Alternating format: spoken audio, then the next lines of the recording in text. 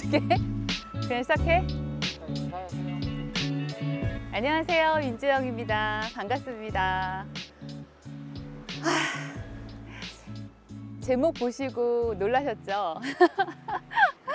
음, 저도 사실 음, 이런 소식으로 이렇게 인사를 드리는 게 음, 쉬운 일은 아니었는데 용기 내서 음, 이 아름다운 바닷가까지 와서 정말 용기 내서 카메라를 켜봤어요. 음, 점. 점 하나로 되게 달라지는 거 있잖아요. 가요 막 이런 거, 노래 가사에도 그렇듯이 님이라는 글자에 이 점 하나만 딱 찍으면 남이 되고 인밍 아웃이라는 그런 말들 요즘에 많이 하는데 거기에 또 점 하나만 딱 찍으면 안밍 아웃이 되고 어, 여러분들 저를 아껴주시는 많은 분들이 저의 그 임신 소식을 너무나 기다리고 계신다는 것도 알고 있고 저도 참 음, 간절히 많이 노력을 하고 있었는데 어쩔 수 없잖아요. 안타깝게도 저는 여러분들께 인밍아웃이 아닌 안밍아웃을 먼저 하게 됐습니다. 음, 죄송합니다. 좋은 소식 전해드리지 못해서 너무 죄송하고요. 참 신기한 게 저는 해년마다 늘 건강 검진을 받고 있어요. 그래서 그 누구보다도 나는 건강하다고 생각을 했고 난 그 누구보다도 내 몸을 상당히 아끼고 있다고 생각을 했어요. 관리도 잘한다고 생각을 하고. 그런데 딱 11개월 어떻게 보면 되게 긴 시간이고 어떻게 보면 되게 짧은 시간인데 11개월 만에 만에 어, 제가 암 환자가 돼 있더라고요. 물론 갑작스럽게 생긴 건 아니었어요. 저는 이제 갑상선에 계속 결절이 있었기 때문에 어, 계속 추적 관찰을 하고는 있었어요. 음, 제가 음, 건강검진에 대한 얘기를 꺼내게 된 건 여러분들한테 이 얘기를 꼭 하고 싶어서예요. 미리 알아서 나쁠 거 없잖아요. 더 큰 병으로 돼서 뒤늦게 알게 돼서 후회하고 힘들게 투병 생활을 하는 것보단 미리미리 검사해서 뭐 상황이 안 좋으면 그거에 또 다른 뭐 대처 방안들을 찾으면 되니까 어, 이거는 민지영 TV를 구독해 주시고 또 연기자인 저 민지영을 아껴주시고 사랑해 주시는 여러분들께 부탁을 드리는 걸 수도 있는 것 같아요. 여러분 건강검진 꼭 놓치지 마시고 1년에 한 번씩 꼭 봐주셨으면 좋겠어요.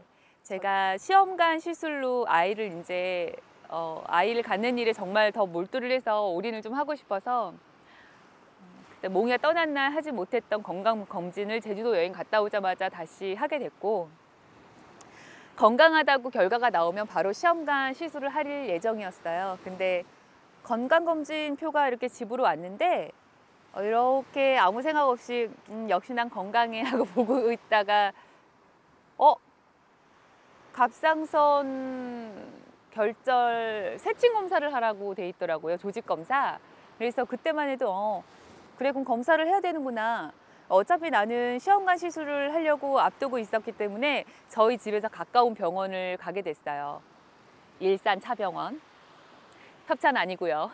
제 돈 내고 열심히 다니고 있는 병원인데 그래서 병원에 가서 음, 갑상선 외과 교수님하고 이렇게 상담을 받고 교수님 역시, 교수님 역시 어, 얼른 조직 검사를 해봤으면 좋겠다 말씀을 하셨고 어, 아무래도 그 병원에서는 좀 대기가 길어지게 돼서 좀 빠른 결과를 얻기 위해 일반 개인 병원에서 어, 세층 검사를 하게 됐고 어, 이렇게 저는 왼쪽 오른쪽 갑상선 다 결절이 이렇게 막 있었기 때문에 양쪽 다 세층 검사를 했죠.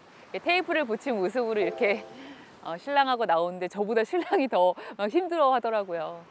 나는 괜찮은데. 그때가 좀 힘들었던 것 같아요. 뭐 슬프거나 무섭거나 공포 이런 게 아니라 내가 갑상선 암일지도 모른다라는 생각에 어, 그 체침 검사 결과가 나올 때까지 그 기간 있잖아요. 그때 잠을 거의 한숨도 못 잔 것 같아요. 왜 못 잤냐면 밤새도록 낮이고 밤이고 눈 뜨자마자 뭐 잠깐 졸다 깨면 계속 인터넷 검색을 하는 거예요. 갑상선 암에 대해서, 갑상선 환자에 대해서, 갑상선 수술에 대해서. 정말 핸드폰을 손에서 놓지를 못하겠더라고요. 그렇게 며칠 동안 거의 잠을 못 자고 거의 뭐 좀비처럼 시간을 보냈던 것 같아요. 그 시간이 되게 길었던 것 같아요.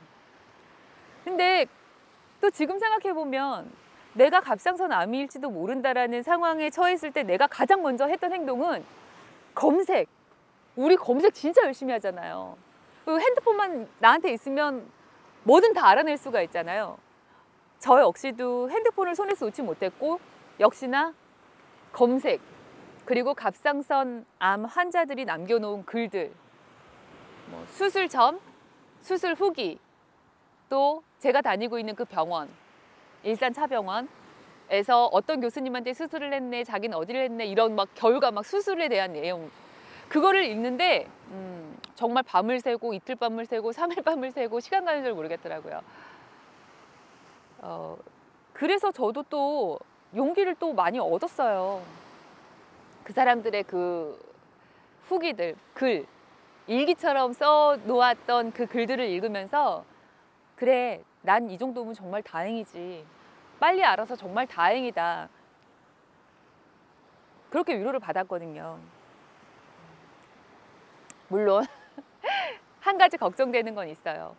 목에 남는 흉터도 걱정이지만 아, 상황에 따라서 뭐 내시경 수술도 있고 로봇 수술도 있다고 해요. 근데 저는 약간 임파선 전이가 의심돼요. 어, 목을 절제를 하기로 했어요. 연기자인데 목에 수술 자국이 남는 거에 대한 어, 그 수술 방법이 쉬운 결정은 아니었지만 음, 연기자라는 직업을 갖고 있어서 저도 목소리가 되게 중요하더라고요. 내가 만약에 목소리를 다치거나 목소리가 변한다면 내 스타일대로 민지영의 민지영만의 연기를 계속할 수 있을까? 이게 정말 가장 큰 두려움이었어요. 어, 교수님들하고 되게 많이 상담을 했는데 아무래도 눈에 보이는 수술 방법이 제일 안전하다라는 결론을 저는 내렸고 저보다 젊은 분들 혹 저랑 동년배 뭐 저보다 나이 많으신 분 상관없이 나는 수술 자국이 보이는 게 싫어요 하면 물론 상황에 따라 다르고 교수님들의 의견을 들어봐야겠지만 뭐 입안으로 하는 수술도 있고 겨드랑이나 이런 데를 이렇게 절제해서 로봇으로 수술하는 방법도 있어서 겉으로 또 수술 자국이 안 남는 방법도 있더라고요. 이거는 본인의 선택이고 교수님의 그 음, 의견을 따라야 되니까 내 상황이 어떤지도 중요하고 그렇게 시간을 보내고 나서 세친 검사 결과가 나오던 날이 됐어요. 음, 저는 검색하느라고 잠을 며칠 동안 못 잤고 옆에서 제 남편은 그런 저를 보면서 어, 많은 걱정을 또 했겠죠. 둘 다 좀비 같은 모습으로 검사 결과를 들으러 갔고 검사 결과 너무나 다행히도 정말 너무나 다행이었어요. 왼쪽에 이 못생긴 이 아이는 조그만 아, 결절 이 아이는 다행히 아직 암은 아니었고요. 오른쪽에 있는 결절은 암이 확실했어요. 그래서 음, 저는 암 환자가 되었고요. 저한테 카톡 하나가 날라오더라고요. 암 환자로 등록이 됐고 5년 동안 너는 암 환자로 살아야 돼. 막 이런 거 5년 동안 너의 결과를 지켜보겠어. 막 이런 거 있잖아요. 근데 우리나라 참 의료 혜택도 참 좋아요. 나라에 딱 내가 암 환자라는 게 등록이 되니까 이 이후에 앞으로 5년 동안 내가 암에 관련돼서 들어가는 의료비는 정말 많은 혜택을 받게 되더라고요. 그거는 정말 좋았어요. 주차했던 차에 딱 탔는데 갑자기 제 옆에 운전 운전하려고 탄 제 남편이 막 우는 거예요. 아니 본인이 걸렸어. 본인이 암 환자. 암 환자 나라고. 가뜩이나 몽이 때문에 힘들어 죽겠는데 거기에 더불어 암 환자라니 내가 더 기가 막힐 노릇이고 내가 더 힘들어야 되는데 와 옆에서 우리 신랑이 막 닭똥 같은 눈물을 막 흘리면서 울어서 정말 당황했어요. 그래서 제 남편을 위로해 주느라고 저는 또 내가 암이라는 걸 확실하게 받아들이는 그 순간에도 울 수가 없었어요. 그 영상 보여드릴게요. 왜 뭐가 좀 들어갔어? 왜 이렇게 울어? 응?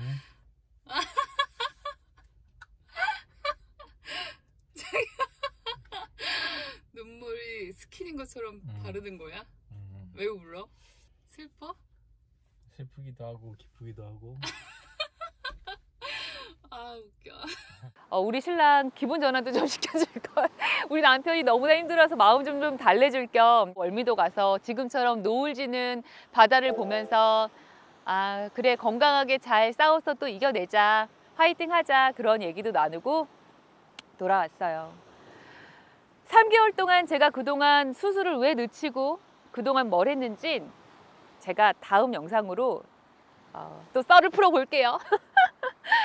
걱정 안 하셔도 되고 놀라셨으면 너무 죄송하고 하지만 저는 괜찮으니까 음, 여러분들도 음, 괜찮으셨으면 좋겠어요. 그리고 제가 앞으로 제가 처한 이런 상황들에 대해서 몇 번의 더 영상을 올리게 될 텐데 어, 저와 같은 상황에 있으신 분들이 계시다면 저와 함께 잘 이겨냈으면 좋겠어요. 저는 정말 괜찮아요. 저는 정말 괜찮고 잘 이겨낼 거거든요. 여러분도 괜찮으셨으면 좋겠어요. 여러분 괜찮아요. 할 수 있어요. 괜찮으실 거예요. 어, 혹은 이런 일이 아니어도 지금 너무나 힘든 상황이 있다면 여러분 우리 함께 다 어, 씩씩하게 잘 이겨내요. 여러분 화이팅! 음, 저 3개월 동안 매달 난자치치했어요. 이 얘기도 다음에 풀어드릴게요. 여러분 오늘 여기서 마칠게요. 안녕.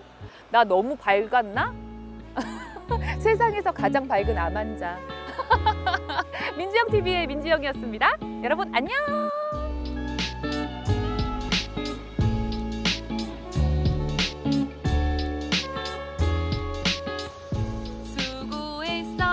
PD. 오늘도 나 영상 찍는데 혼자 훌쩍훌쩍 눈물을 보이던 김 PD. 연기인가? 여기 고성에 있는 강원도 고성에 있는 송지호 해변이에요. 너무 예쁘죠? 나중에 한번 꼭 와보세요. 안녕 여러분. 안녕해. 안녕.